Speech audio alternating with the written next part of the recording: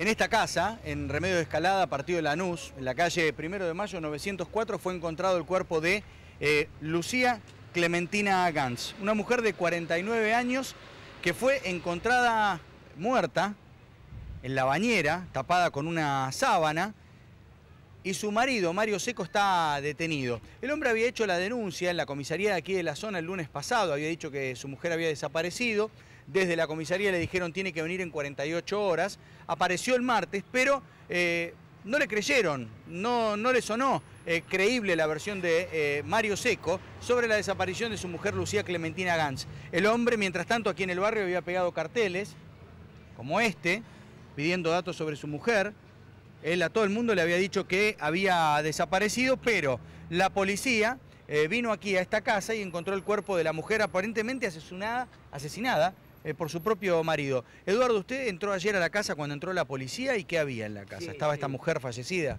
Estaba, había un, un olor impresionante. Eh, estaba el cuerpo cuando abrieron el lavadero que la había, después de haberla asesinado, la metió en el lavadero. Bueno, vinieron los bomberos, rompieron la puerta y, y- y me, me dijeron si la para reconocerla, sí, es esta la mujer. Eh, y me preguntaron cómo era él, era macanuda, una mujer macanuda. Ellos habían tenido problemas, conocían la Sí, relación, sí. ¿usted de ellos? Ella se iba a separar de él, ¿viste? Ella se iba a separar de él. Entonces se nota que discutieron esa noche. Hace cinco días atrás ladraba mucho el perro del, del vecino. Parecía que el perro, el perro estaba alertando a la gente, ¿viste? Se, se nota que el tipo al arrastraba al lavadero, al cuerpo. Aparentemente la pelea ocurrió entonces en la casa y él la lleva al lavadero después.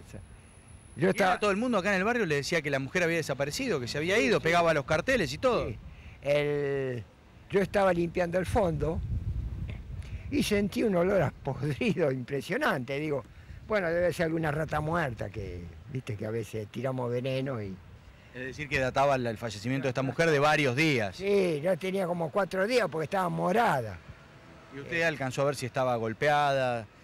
No, golpeada no, para mí, la, para mí, lo que dice la autopsia será la verdad.